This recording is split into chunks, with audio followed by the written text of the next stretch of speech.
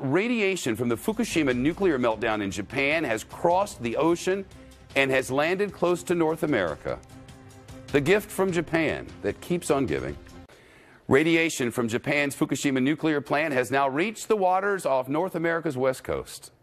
That's the word from the scientists.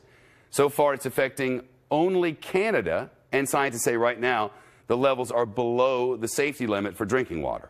Researchers say they expect to start detecting low levels of radiation along the U.S. Pacific coast starting in April. Back in 2011, a deadly earthquake followed by a devastating tsunami killed more than 15,000 people and caused the Fukushima power plant's nuclear reactor to melt down. And we stood in Tokyo as they said, There is no meltdown. This is not happening. As steam rose from the place, they allowed workers to continue. They allowed residents to stay and said, No, there is no nuclear meltdown. It's okay. It's now reached the shores of North America. What an fantastical, incredible lie that we knew at the time we were getting and simply could not prove